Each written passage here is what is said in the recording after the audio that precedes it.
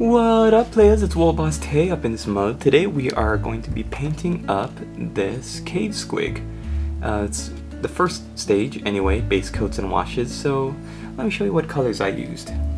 Mephiston Red for the skin, Rakarth Flesh for the teeth and the claws, Naggaroth Night for the gums, and Averland Sunset for the eyeballs. To wash it, we used Agrax Earthshade as a shade for the claws, Nuln Oil for the mouth, and Carroburg Crimson for the skin.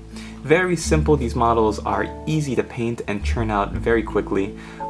Um, if you want to just do a tabletop standard, the next thing you would do would just be to highlight back up to the base color once the shades are dry, and um, you could just put this guy on the table and have at it stay tuned for part two and I'll be doing a little bit more highlighting.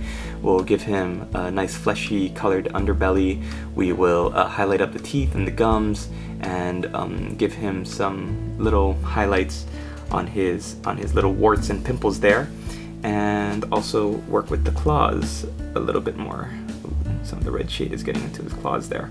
So uh, if, if you do not know what a squig is, if you're not familiar with them, they are like big, um, like overgrown, chompy fungus creatures. So they're like if if a mushroom growing in a cave all of a sudden got up on two feet and developed a mouth and all of a sudden started jumping up and down and chomping everything. So the night goblins, orcs and goblins, like to use them as war beasts, monsters that they can goad into combat. And they also um, squigs come in all sorts of shapes and sizes. These are attack squigs, but I think in the old books, the old army codexes, they used to talk about squigs that were bred specifically because they tasted good and they were used only for food because they didn't bite back.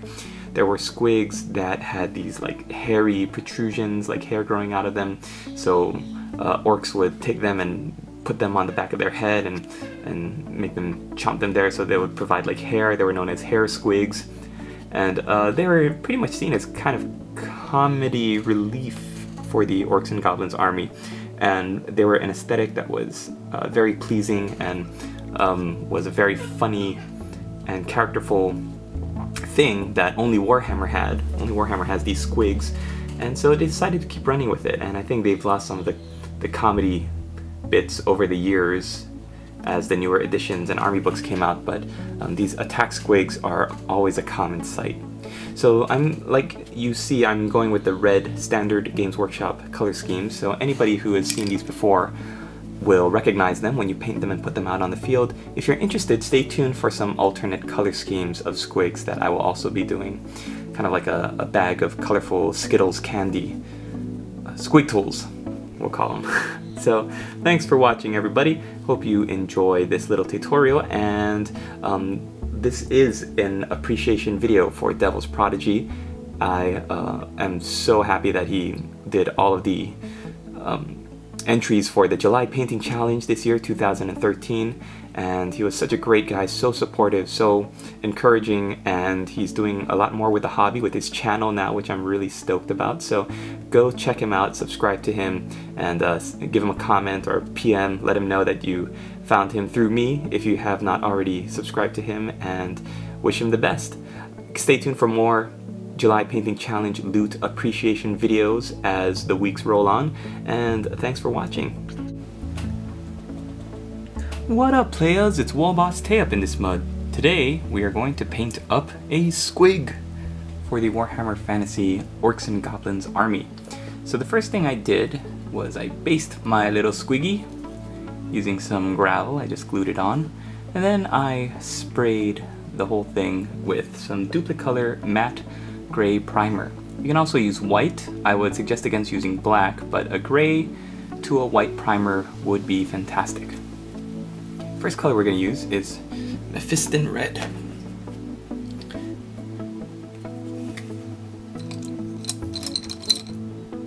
So, continuing on from where I left off in my unboxing of these cave squigs, I suggest that if you have not gone to Devil's Prodigy, that you go to his channel right now and you subscribe. He is a classic guy, very classy guy, I mean, and he's um, really, really nice and super awesome, and he's got great feedback and insight.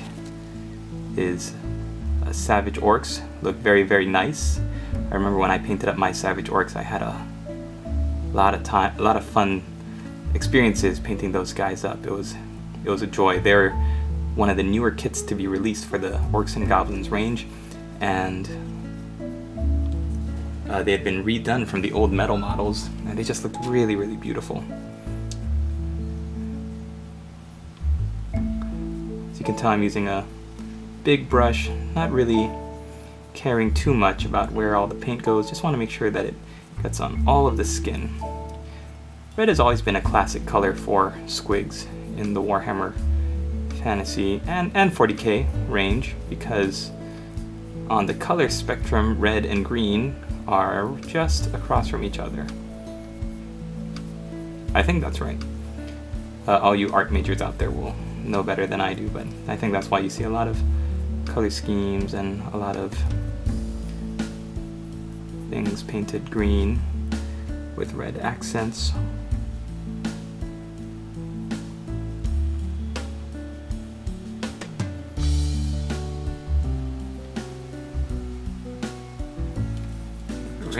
and there's...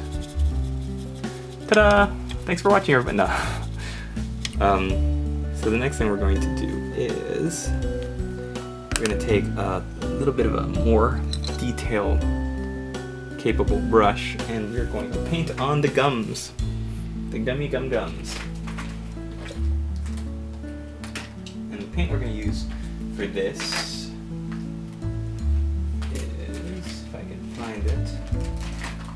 Naggaroth Night. While I'm looking for that, I'm making sure I have all the other paints that I'm going to need. The uh, cool thing about squigs that I've always loved about them is that they're basically just like teeth. They're like a big mouth with little legs. And um, I just think that is hilarious.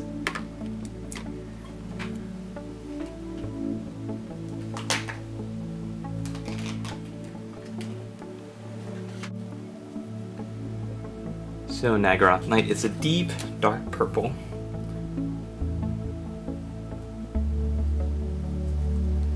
And it is perfect for squig gums. Oh, I see a bit of flash. Finecast.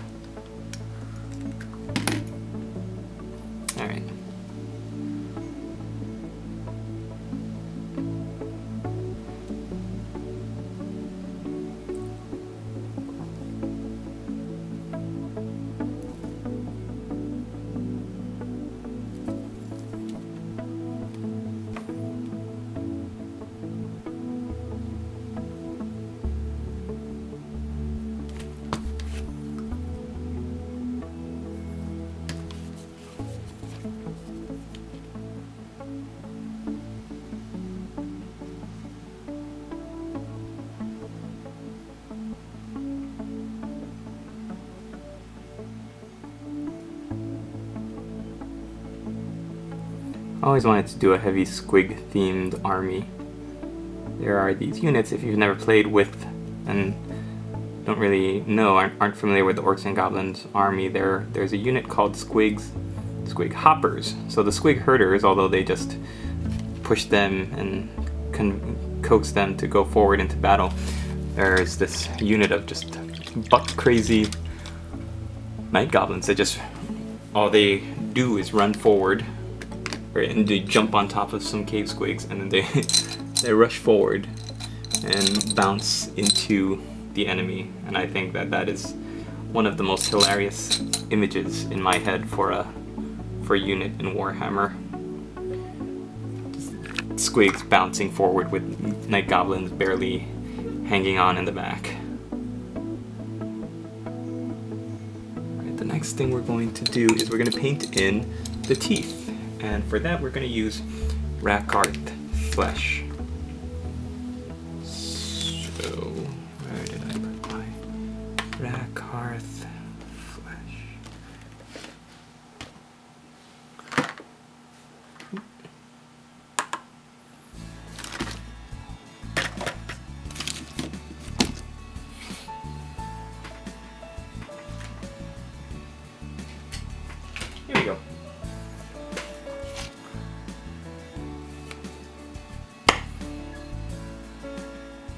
Often touted as the new Dheneb Stone, I still do not believe that, but it is. It's a, it's a decent substitute.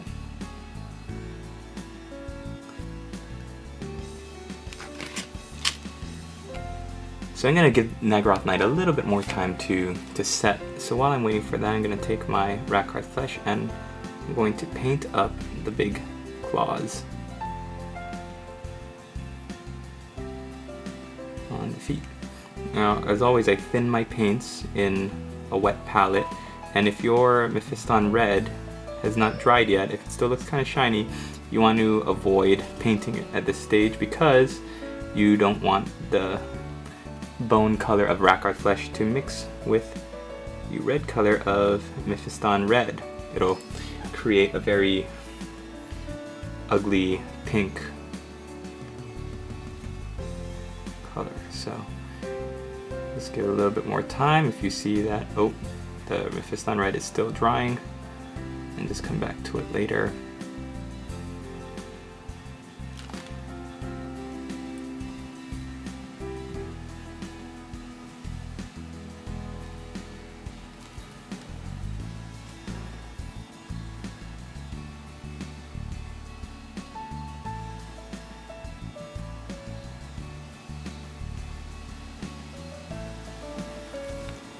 Cave Squigs gotta be. I mean, I think orcs and goblins are. Like, you look at all the new stuff coming out for Warhammer Fantasy, the Dark Elves that just came out, even when you look back to the. like the High Elves, especially, and before them, you had stuff like the uh, Empire, Warriors of Chaos. Everything has very very potentially difficult paint schemes attached to them.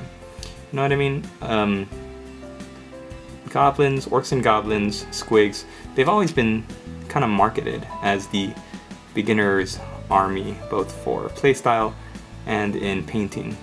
Even though there are some special rules like animosity,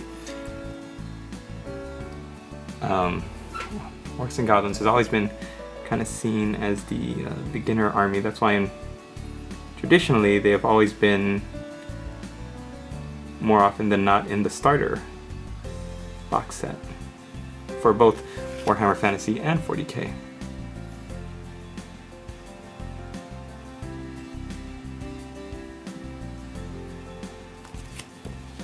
They're a horde army, which means you uh, GW loves them because in order to play them effectively, you will want to get a big collection of these guys. You can see I just dragged my brush across the teeth. So nothing fancy there. In fact, I got some on the gum line, so I'm gonna go back to my Naggaroth Night now, and I'm going to just fix any of the mistakes that I had made.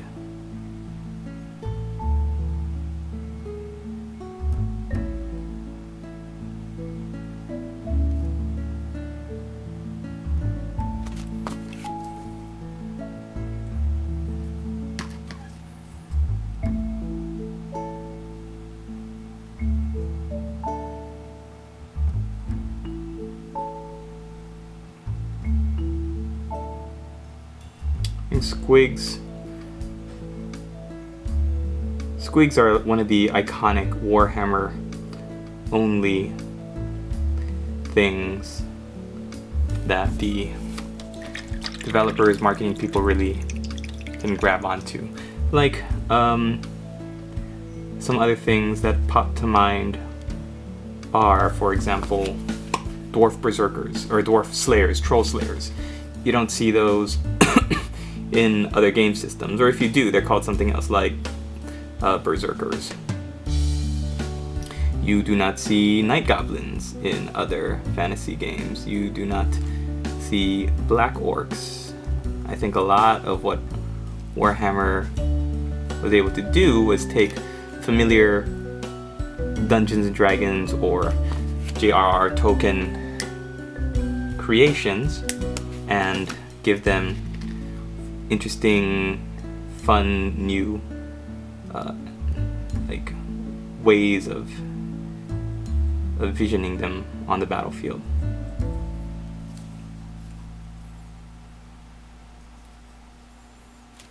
Right, you might want to go a couple layers, but I'm gonna stop after the first one. I'm gonna let this dry for a while, and then I'm gonna come back with, you want two washes.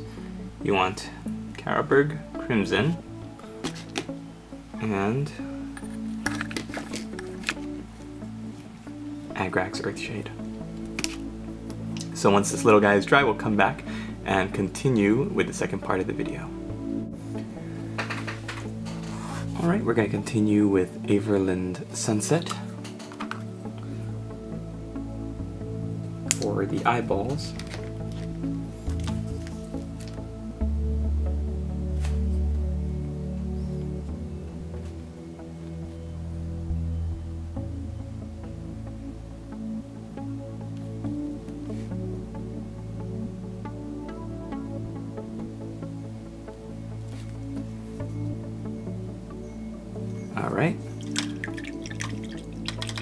Something like that.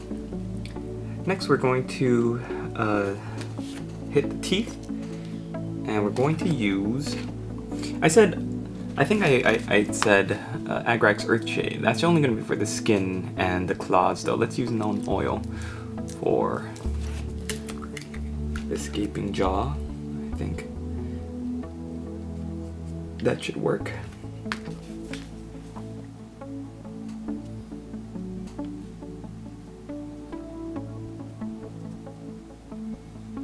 The great thing about Nuln Oil is that if you use like a white primer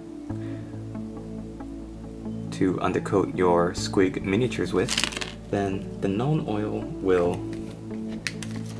get into all those crevices between the teeth and shade them very nicely.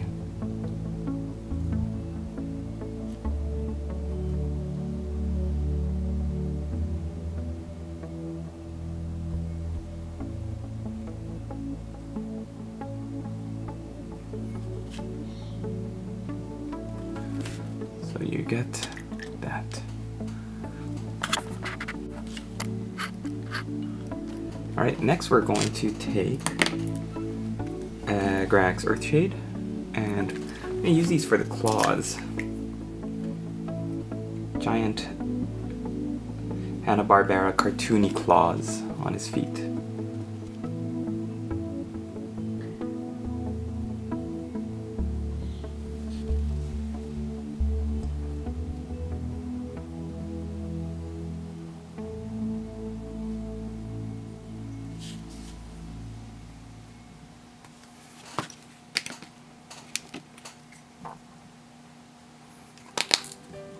Look like big mutant guppies or tadpoles.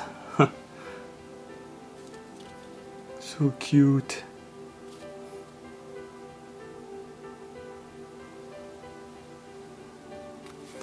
There we go. Alright, so the last thing we're to do at this stage is hit this bad boy with some Carroburg Crimson. Beautiful red wash. It's I think it's actually much better than the old what was it? Baal red wash? This wash actually has a little bit of purple into it. So it makes it really dark and not just not just red but it's uh, got yeah it's got this darker hue to it that looks really really nice when painted on red models so it shades it really nicely, makes it really good. You could also use Agrax Earthshade for red, which I think is an interesting choice, but is certainly an option if you don't have Carroburg Crimson. If you only have Agrax Earthshade, it's that is definitely alright.